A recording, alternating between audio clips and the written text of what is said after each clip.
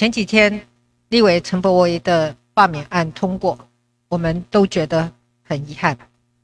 近期由国民党和亲近的团体发动的几个罢免案，都不是以从政表现为前提，而是出自于政党的好恶，甚至把罢免当作政治操作的工具，这并不是好现象。但是我们没有时间惋惜，既然有人要继续推动罢免，扰乱台湾，我们就要挺身而出，阻止这些乱象。那么，关于台中第二选区的立委补选，我们会和激进党共同来讨论，推出最好的人选，把这一席赢回来。请大家一起